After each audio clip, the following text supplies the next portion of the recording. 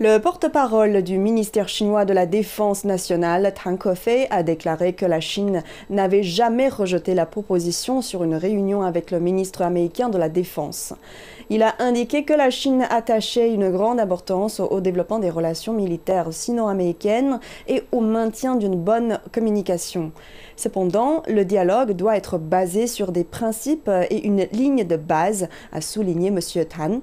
Il a ajouté que les difficultés actuelles de communication rencontrées par les armées des deux pays relèvent entièrement de la, responsabilité de la partie américaine. M. Tan a précisé que Washington faisait preuve d'une négligence à l'égard des inquiétudes de la Chine et ont créé des obstacles qui mettaient sérieusement à mal la confiance mutuelle, malgré ses engagements sur un renforcement de la communication. Les États-Unis ont besoin de remettre les choses en ordre par leurs actions pratiques et de créer les conditions nécessaires à une meilleure communication, a réaffirmé le porte-parole.